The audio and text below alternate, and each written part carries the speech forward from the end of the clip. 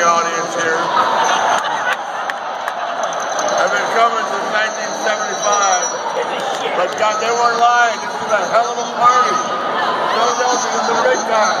Yeah. Good looking women. Good life. And I understand, just like me, that none of you like the Patriots. There you go. The home of Matt Ryan. Of the Falcons. They're going to kick the Patriots' ass, guys. That's it. Look at that Rolex.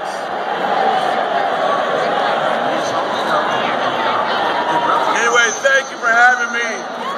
I've been hearing about this for years. I'm honored to be part of it. And everything I see so far is living up to everything I heard it was. So, God bless you all.